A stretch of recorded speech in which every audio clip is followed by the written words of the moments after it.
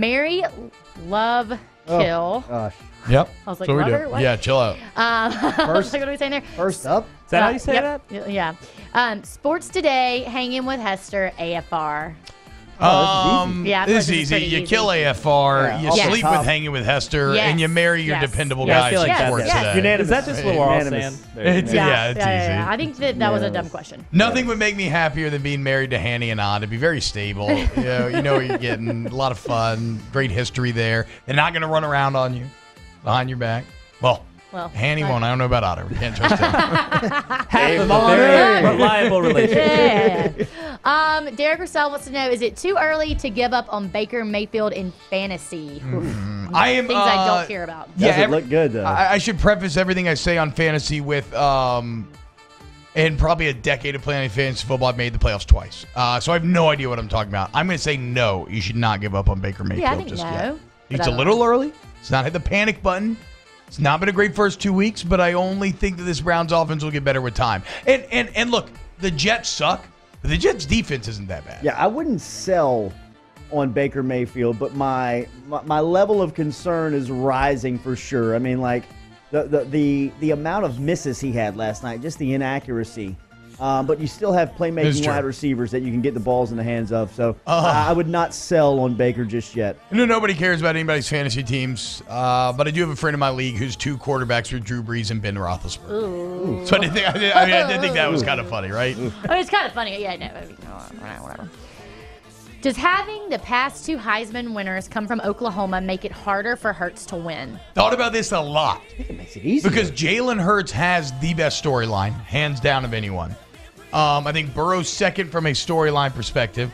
And I think too right now Trevor Lawrence just isn't playing well enough to win the Heisman. Um, I think it makes it harder. Dude. I don't think I think I think college football really doesn't want a third year in Yeah. a row of Clemson, Alabama, Oklahoma Heisman winner. That's a little too much stability at the top when you're looking for a little more parity. I agree with you, and I definitely think that they don't want the stale storylines of the same championship and the same school representing the Heisman Trophy. But the numbers are going to be so embarrassing at the end of the year.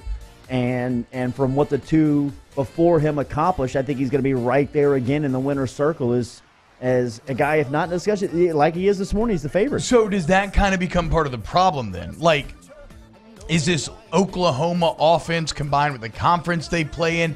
Is it just going to be a situation where they're always going to put up stupid numbers? So if you're too married to those stupid numbers, and are you going to have to give it to them every year? Yeah, I, I think it's actually net negative on Hurts, even though his storyline, I still think has him as my front runner. Yeah, for sure. And I think we've seen players this hurt, not necessarily schools, right? Tim, Tim Tebow came back after he had won a Heisman. It kind of played against him, even though he still played at that high level. Yeah. Lamar Jackson Matt- came back Matt- after his, and, and Matt Leinart. Matt Leinart had a better statistical year his senior year when Reggie Bush won the Heisman than he did when he actually won the Heisman. Right. To your point. Um, for Jalen Hurts, it's all going to come down to that Texas game. Just like for Oklahoma. Watch Hurts for Salinger. What do you think, Nathan? I think he'll be fine. Yeah, there we go. There you answer. That all sounds great. That sounds good. I'm on board. Um, I'm only asking this question because I want to bring something up. Is it acceptable for a man to cry?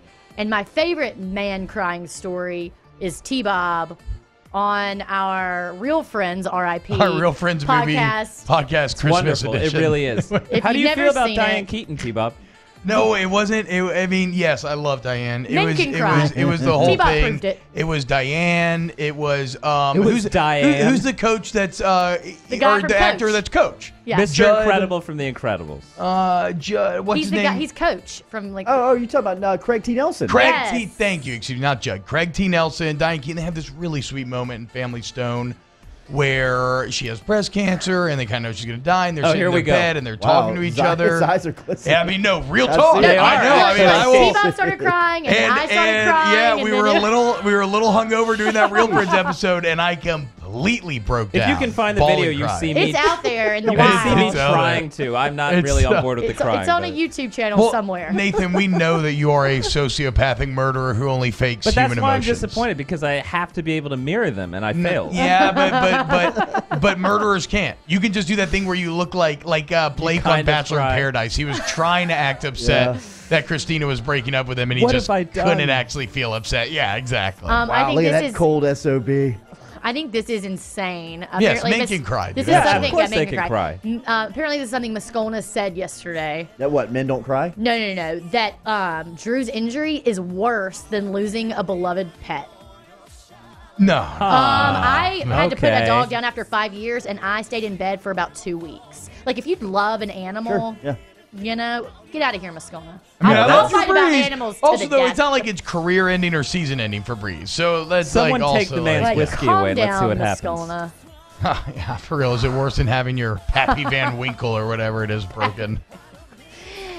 Has NFL officiating always been terrible and we just didn't realize it? Or is it just more apparent now because there are 100 high def cameras on the field showing 100 high def angles? I mean, I gotta imagine that's it, man. Definitely, I mean, yeah. You see everything Yeah. now. You see everything. Everything. There's, I mean, like the Jalen Ramsey, um, Doug Marone, like meltdown on the sideline. I mean, like ev- there is a camera on everything now. You can't, you can't have any type of competition at the highest level, whether it's college football or NFL, where nothing is is off limits. I Well, mean, it seems like everything has And a then- vantage point. And then you think about the rise of gambling. And when you football. talk about gambling, um, the need to get it right is because you don't want to look like you're being corrupt in any way. Like the get right is huge. That just incentivizes you to add more cameras, add more angles. Um, that, that see, and that's the thing. I will actually defend NFL officials. I think for the most part, they are incredible at their job. You look at what they get right with these new camera angles, and as much as it exposes what they do wrong, it really exposes how right they are in some incredibly bang bang plays for whatever reason. They just can't get their They head out get their credit. ass. They don't You're get being- credit for being right, though. Being No, I agree. I you, agree, but I'm saying, but you just can't get their head out their ass when it comes to the Saints. Like they are making these just like inexcusable, critical mistakes that are just frankly mind-boggling. And I don't even think it's representative of refereeing in the NFL. I think they're very good on the whole. They just have to get it figured out when it comes to games involving New Orleans. It's absurd. I can give you an officiating uh, point of view, and I have not officiated at that high of a level, but th- it's just it, it's it's a thankless position. Yeah. That you know, like really, you want to stay out of the story. It's just like a left tackle or defensive back. If you don't mention their name, you've done a good job. Right. Yep. If you're in the Um, story, ugh. Yeah, yeah, right. I mean, like the Saints in the NFC Championship Yes. game, that is a that is a nightmare. Yeah. for officials to, to leave that game being the the, the main point. So, um, I, I know how thankless it is, but at that speed, I can't imagine trying to officiate a game. Right. I, I just really I refereed a charity basketball game, and it was the worst experience. I will never agree to do it again. you know what the worst officiating experience I ever had in my life was? They used to have that LA Ledge basketball game in the PMAC where the Senators played the House, and it was the one year that I was. So it wasn't bipartisan. It was like it was Wow. senators versus. I mean, it wasn't like on part. It wasn't Republican versus Democrat. It was senators versus versus the House. Right, okay. right, right. It was the worst experience of my life. I mean, like they complained. Kalana, and where do you live? Yeah. You want those absolutely. bridges? Yeah. okay, I'm expecting a call here. Right. Um, two more quick ones, really quick. Should LSU lock Brady down for two million as OC? Yes. Um, 100. I mean, like, wh- what we're you getting ahead of ourselves, but sure. I mean, if it's if it's him leaving or that, yes. Yes. Then pay him. I mean, Uh, if, if given the option of losing him, pay him. Yeah. Last one, T Bob. If you would have been good enough, which is that No, sounds no, like a no, no, no. It's compliment, fine. I know it's fine. It's You fine. would've He's been right. He's right. He is absolutely to right. make the NFL. Was she? Well, you were T Bob. You No. were good enough. No, I was Which not. That's team why I did it. would you. you. have liked to play for for other than the Saints? if you would have wanted to play for the Saints. Uh, I mean, I think anywhere in California would be incredible because of the weather. And Minnesota. Just that. Which is kind of opposite, polar opposite. But I've just heard Minneapolis is an incredible city. And so living in Minneapolis Like with a a lot tech of money, it's just like very. Uh, I I mean, bro, they have underground tunnels because of the winter. no, no, it's it's horrendous. Like I had a buddy that lived there, and he was sending like, Wait, so your first one was LA because of the weather? yeah, no, I know. Look, I'm I, I've said this many times. I'm like an onion. I've got a lot of got a lot of complicated feelings on issues. I just really have heard that Minneapolis is like a great city to live in. It has some of the. Arizona or Green Bay. You know? some of the- mean, I would hate to live in don't know what- Arizona. I would hate to live in. Arizona. And look, if you haven't seen the Real Friends episode that I'm talking about, I know you all have. Um, someone has Yeah. found it. It is in the huddle. Oh, there is an image, so go ahead and check that out. It's so good. Hey man, I I will still. Family Stone is a great Christmas movie. I will still ball crying every time I see it. I He's will, wearing his Christmas sweater. I will The laugh my best ass part about this picture is Nathan in the pelican sweater. oh yeah, I forgot. I forgot we wore matching sweaters that I'm day. very, very intimidated by how much you were crying. I'm sitting right next to you. I don't know if I should comfort Nathan you. looks so uncomfortable. Wait, who was? I'm looking to um, Rivers for guidance since she's crying as well. It was very emotional, dude. It's a, it's a, it is a scene that kind of represents a lot of my biggest fears. Very scary stuff. Uh, that's not funny, but like just the whole Oh, situation it's was. It was hilarious. good. Who, The picture um, so good. which, which politician was the best baller? Who could hoop the best? Um, um, Probably John Alario randomly seen- somehow. I see him right now, um, and I think he's actually a senator in Washington right now as we speak. He's from New Orleans. Let me look him up. I'll tell you when we come back from this break.